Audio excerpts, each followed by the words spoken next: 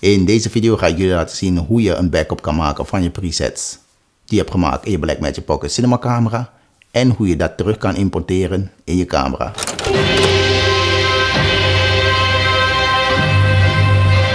Hallo allemaal, welkom terug op dit kanaal. Mocht het jouw eerste keer hier zijn, mijn naam is Henk met CK. Ik ben een content creator, fotograaf slash videomaker.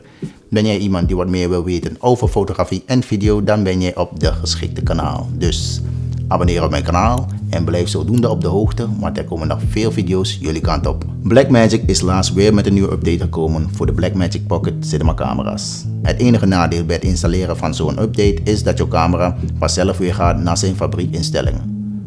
Dat houdt in dat je al je LUTs kwijt bent en je presets. Gelukkig is dit probleem geholpen met deze nieuwe firmware. Dat houdt in als we weer een nieuwe firmware moeten installeren dat jouw presets uh, dat je ze niet kwijt zal zijn en je LUTs. Maar desondanks wil ik jullie laten zien hoe je makkelijk zo'n backup kan maken van al jouw presets. Het voordeel daarvan is dat je deze methode ook weer kan gebruiken als je weer een nieuwe Blackmagic Pocket camera hebt.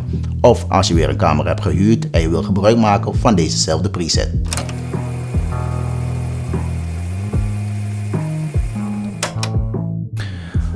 Zoals ik eerder zei is Blackmagic met een nieuwe firmware uh, gekomen en die heb ik al geïnstalleerd op mijn camera. Uh, vandaar dat het er heel anders ziet dan uh, we gewend zijn. Maar wat er zo'n beetje is veranderd is dat er nu ook een menu knopje op de display zelf te zien is. Heel handig.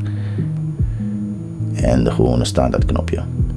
En nu gaan wij een preset exporteren. Dus dan gaan we naar presets. En dit zijn de drie presets die ik heb. Eén voor mijn shotgun mic en die andere voor de Rode Wireless Go. Daar kan ik mijn lavalier aansluiten. Ik heb ook nog een standaard instelling preset gemaakt. Het voordeel daarvan is dat ik makkelijk kan switchen, zodat ik weer gebruik kan maken van de standaard microfoon van de camera zelf. Om deze presets te exporteren gaan wij naar deze knop. Voor het exporteren kan je kiezen voor een CFS kaart, SD-kaart of een USB drive, oftewel een Samsung T5. Ik maak gebruik van een CFS kaart, want die heb ik uh, in mijn camera gedaan. Dan druk ik op Export Selected Preset en exporteren. Deze stap blijven we herhalen.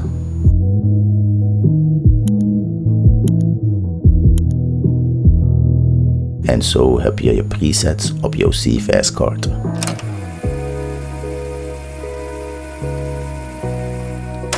En nu gaan wij een preset importeren. Ik maak gebruik van mijn CVS kaart. Daarin staat de preset. Die duw ik erin. Dan gaan wij naar menu. Druk op die knopje.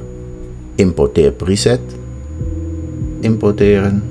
En daar staat hij, de Lego, zoals ik heb genoemd. Importeer. En dat is hem. En zo kan jij makkelijk jouw presets hergebruiken voor de ene Blackmagic Pocket camera naar de andere Blackmagic Pocket camera. Vond jij deze video hulpzaam? Laat het mij gerust weten in de reacties. Mocht jullie nog vragen hebben, mag dat ook natuurlijk. Deel deze video met jullie vrienden of met jullie kennissen. Geef deze video graag een duimpje omhoog, want dat helpt mijn kanaal. En willen jullie nog meer video's zoals dit zien? Abonneer op mijn kanaal en ik zie jullie tot de volgende keer. Later.